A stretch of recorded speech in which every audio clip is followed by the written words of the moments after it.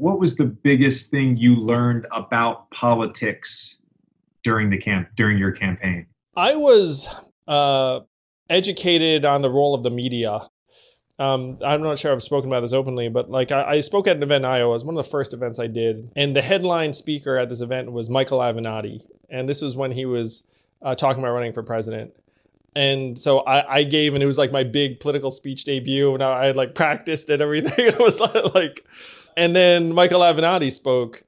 And as far as the journalists in the room were concerned, it's like Andrew Yang didn't exist. And it was like all, all Michael Avenatti. And, and, I thought objectively, Michael gave a bad speech. I thought I was like, well, that was shitty. He just like read every word. He went five minutes over. I thought the uh, applause was like polite. And then the journalists in attendance were like, Michael Avenatti, like rocks Iowa.